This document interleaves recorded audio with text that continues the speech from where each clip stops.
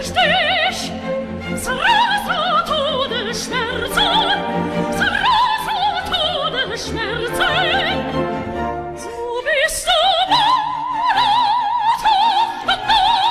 mon, bist du, meine tuch